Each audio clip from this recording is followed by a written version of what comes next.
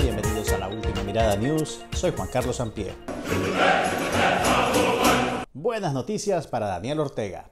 Vladimir Putin mantiene a 100.000 tropas en las fronteras de Ucrania. La amenaza de invasión ha colocado a Europa al borde de una guerra entre las dos grandes potencias, Rusia y Estados Unidos, peleándose el mundo como un tablero de ajedrez. Y eso quiere decir que van a hacer falta los peones.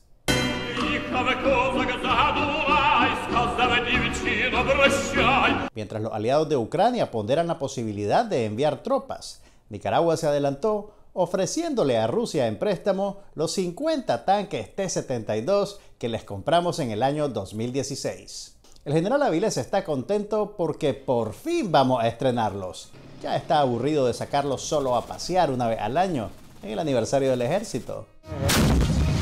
No, en realidad los rusos no necesitan nada de nosotros, ni los chinos tampoco, ya que estamos en esas. Daniel Ortega se mete como la pobreza en las planillas de las potencias totalitarias, buscando apoyo en contra de las presiones de la OEA y la Unión Europea. Y para su aliado en la región, se está convirtiendo en un inconveniente de otra especie.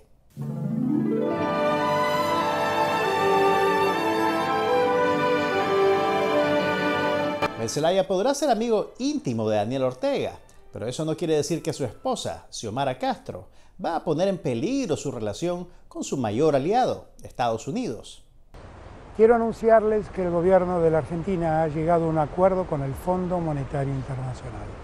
Mientras tanto, en Argentina, el gobierno de Alberto Fernández ha alcanzado un acuerdo con el Fondo Monetario Internacional para renegociar la deuda de su país. ¿Y quién es el socio más importante del FMI? Pues, Estados Unidos. Ministerio de Relaciones Exteriores, le doy la bienvenida al gobierno a doña Antonia Urrejola Noguera. En Chile se ratificó el nombramiento de Antonia Urrejola como ministra de Relaciones Exteriores. La jurista conoció de primera mano la represión en Nicaragua como relatora de la Comisión Interamericana de Derechos Humanos para nuestro país durante la represión del 2018. Con razón, Daniel Ortega no quiere salir de su búnker en el Carmen. El dictador no ha sido visto en público desde el 10 de enero. Eso quiere decir que lleva 20 días ausente de su cargo. Pero eso no quiere decir que no esté trabajando. Esta semana ordenó reactivar los juicios políticos contra 10 reos de conciencia. La farsa judicial se celebrará en las cárceles de El Chipote durante las próximas dos semanas y las sentencias de culpabilidad ya han sido redactadas. Por la víspera podemos sacar el día. Margarito Alvarenga Mendoza de Chinandega fue condenado a siete años y medio de cárcel. Según la justicia sandinista, es culpable de incitar al odio y la violencia.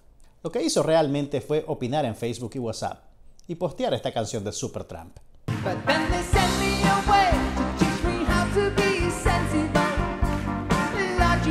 Y este viernes la jueza Rosabelia Vaca le subió la pena de 7 a 12 años, porque de plano que compartir en Nicaragua la canción lógica es criminal. Me pregunto por qué será. Añada una victoria más al récord de la dictadura. Según el último índice de percepción de corrupción de Transparencia Internacional, Nicaragua es el país más corrupto de Centroamérica y el segundo de toda Latinoamérica, únicamente superado por Venezuela. Pone la barba en remojo, Maduro. Vamos por tu corona. Aunque no lo puedan ver, Daniel Ortega está presente. No solo porque se mantiene en el terrorismo y la corrupción, sino también porque tiene clones por todos lados. Estimados compañeros. ¿Se puso Botox Laureano?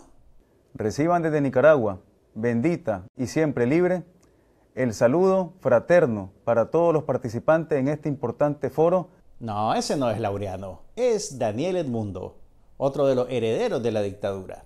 Gracias al alineamiento con China, han florecido nuevas oportunidades laborales en Nicaragua. Y ahora, un nuevo Ortega Murillo se estrena como vocero, edecán, coordinador de medios de la dictadura, ¿algo?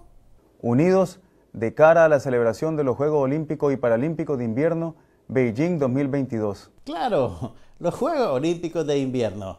¿En qué disciplina vamos a participar? ¿Saltar charcos? ¿Darse clavado en un cauce?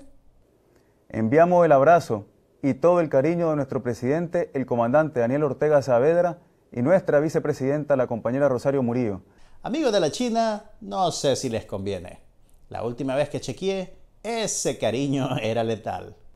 Saludamos el desarrollo de este foro y todos los preparativos para los Juegos Olímpicos de Invierno, juegos que estamos seguros se realizarán de forma exitosa y ejemplar. Laureano 2.0 mandó ese innecesario mensaje de solidaridad en el marco de un foro de innovación de medios globales. El aporte de Nicaragua fue sugerirle a Xi Jinping que se robe 4.500 millones de dólares para comprarle cinco canales de televisión a sus hijos. Porque esa fue la innovación que se aplicó en Nicaragua. Vamos adelante, siempre unidos hacia nuevas victorias. ¿Victorias en los Juegos Olímpicos de Invierno? No realmente. En Nicaragua no se practica ninguno de esos deportes. Así que, para tener presencia en el papachín de nuestros aliados, dos miembros de la familia Ortega Murillo se han ofrecido como voluntarios para hacer las veces de las mascotas Bing Duen Duen y Shui Ron Ron. Ok, quiero decir que la lamparita es Camila, el oso panda es Laureano, Daniel, no sé, todos se ven iguales.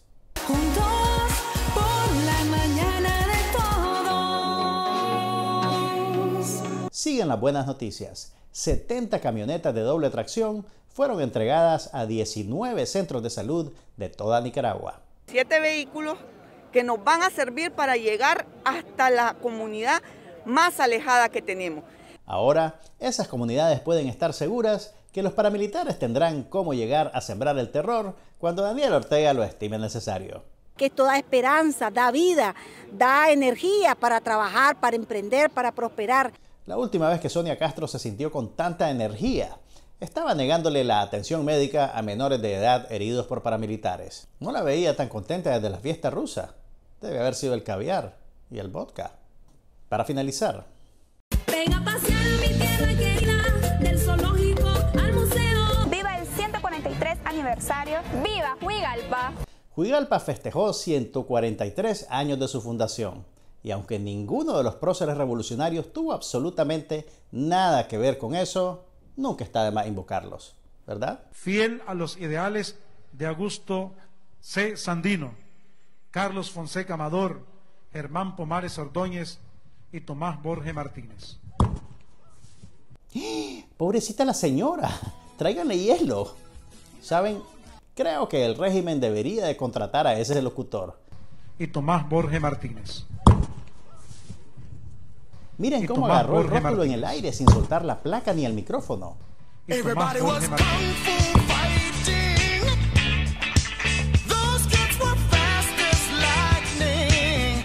un ninja.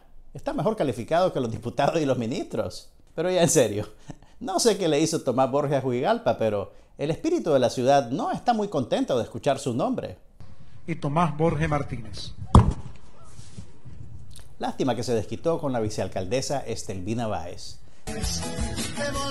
Arquímedes a la camioneta. Pero bueno, por lo menos ya estrenaron la camioneta nueva del Silais. Al cierre de esta edición, no sabemos cuál es el estado de la vicealcaldesa. ¿Ven qué mal cómo en la dictadura se repiten los patrones? No sabemos de qué está enfermo Daniel Ortega y no sabemos si la vicealcaldesa ya se recuperó del golpe.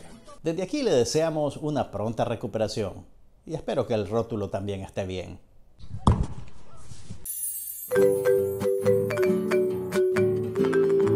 Exigimos la liberación inmediata y la anulación de los juicios espurios aplicados a los más de 170 presos políticos secuestrados por el régimen.